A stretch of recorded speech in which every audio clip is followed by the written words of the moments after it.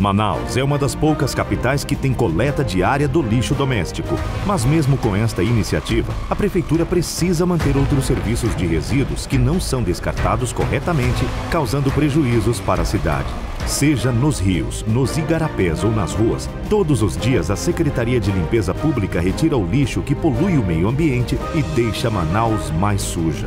Resolver este problema não é difícil. Que a sociedade né, possa ter um pouco mais de consciência em colocar o seu lixo, né, os seus resíduos né, de forma correta. Verifique os horários da coleta de lixo na sua rua e use o serviço específico para descarte de grandes objetos. Prefeitura de Manaus.